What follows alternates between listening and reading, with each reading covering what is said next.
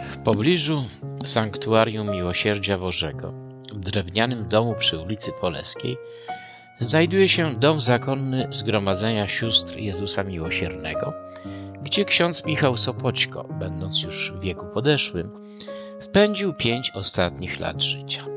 Tutaj znajduje się Izba Pamięci poświęcona księdzu Michałowi.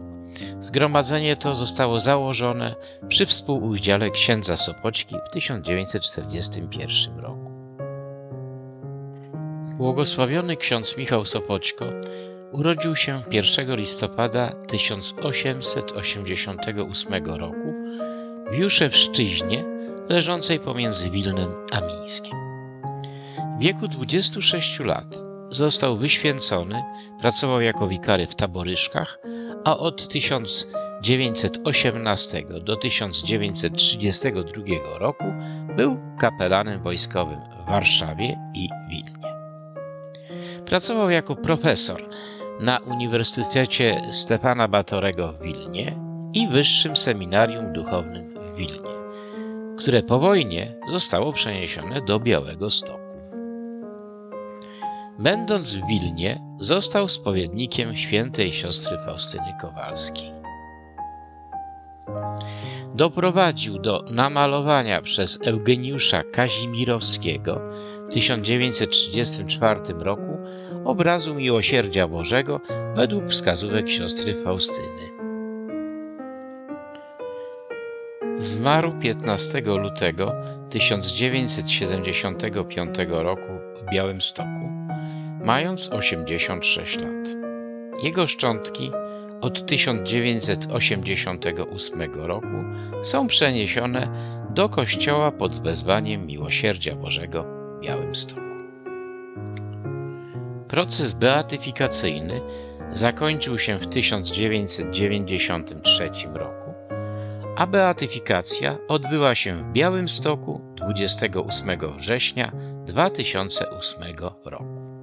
9 marca 1989 roku doszło do katastrofy pociągu przewożącego ciekły chlor. Z powodu pękniętej szyny wykoleił się cały skład, a na nasyp kolejowy wywróciły się trzy cysterny. Stwierdzono, że gdyby któraś z 52-tonowych cystern rozszczelniła się, morderczy obłok chloru zakryłby pas o szerokości 3 do 4 km i długości 50 km. Przy wietrze, który wiał tej nocy w kierunku miasta, zginęłoby prawdopodobnie 80% mieszkańców. Nie znam wypadku takiej potencjalnej skali zagrożenia. Nawet z literatury światowej mówił wówczas jeden z ratowników ekipy specjalistycznej z Płocka.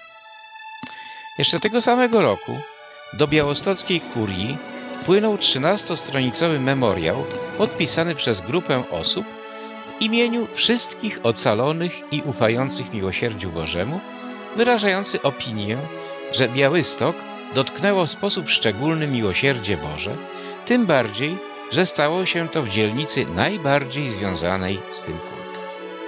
W rocznicę wypadku wierni biorą udział licznie w modlitwie dziękczynnej u stóp krzyża ustawionego w miejscu katastrofy. Następnie, odprawiając drogę krzyżową, przechodzą do sanktuarium Miłosierdzia Bożego, gdzie uczestniczą we mszy świętej. 15. rocznicę tego wydarzenia ksiądz Stanisław Strzelecki podkreślił, że miało ono miejsce w białostockim trójkącie Miłosierdzia Bożego, który wyznaczają trzy obiekty. Świątynia Najświętszego Serca Pana Jezusa na Wygodzie, gdzie był czczony pierwszy w mieście obraz Jezusa Miłosiernego. Kaplica Sióstr przy ulicy Poleskiej, gdzie spędził ostatnie lata ksiądz Michał Sopoćko oraz Kościół Miłosierdzia Bożego, gdzie spoczywają jego doczesne szczątki.